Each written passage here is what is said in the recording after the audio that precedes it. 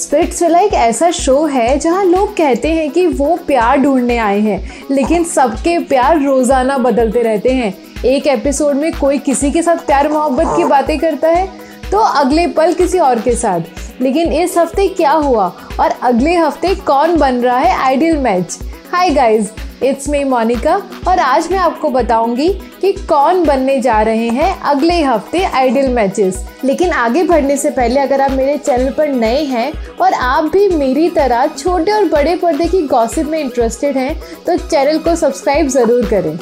इस हफ़्ते की शुरुआत तक काफ़ी ऐसे लड़के थे जो लड़कियों से अभी तक मिले ही नहीं थे। लेकिन एक टास्क जीतकर तीन नए लड़कों को मौका मिला सभी लड़कियों से मिलने का। और इस मिलन में तीनों लड़कों को अपने अपने कनेक्शन भी मिल गए। सबसे पहले बात करती हूँ हनी कम्बोज की। हनी को पहली बार मौका मिला था सभी लड़कियों से मिलने का और उनकी फनी और क्यूट पर्सनैलिटी को देखकर सब लड़कियाँ उनकी दोस्त तो बन जाती हैं, पर कनेक्शन बनाना थोड़ा मुश्किल था। पर हनी ने आते ही आकाश रीना को देखा और उन्हें उनका ड्रेसिंग बहुत पसंद आया। और उन्होंने उन्हें अप्रोच किया। और आकाश टीना के पास भी अभी ऑप्शंस की कमी है। तो उन्होंने भी टास्क के बारे में सोचकर हनी को साथ में परफॉर्म करने के लिए हाँ कर दी। इसके बाद आते हैं ऋषभ जायसवाल, जिनके ऊपर सभी लड़कों ने दल बदलू का टैग लगाया हुआ है। क्योंकि उन सब के हिसाब से ऋषभ कभी किसी के नहीं हो सकते और ना ही अपनी जबान पर खड़े हो सकते हैं। ऋषभ को आते ही अप्रोच किया साक्षी त्रिवेदी ने। और ऋषभ को भी साक्षी ठीक लगी। पर जब उनको पता चला कि वो दोनों उत्तर प्रदेश के एक ही शहर से बिलोंग करते हैं तो ऋषभ की तरफ़ से उनका कनेक्शन पक्का हो गया।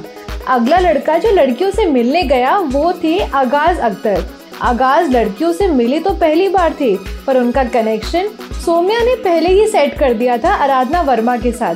आगाज़ तो बस उनसे मिलने का इंतज़ार कर रहे थे। और जैसे ही दोनों मिले, दोनों एक दूसरे को पसंद आ गए और दोनों ने गेम में हमेशा आगे तक साथ रहने का वादा कर लिया।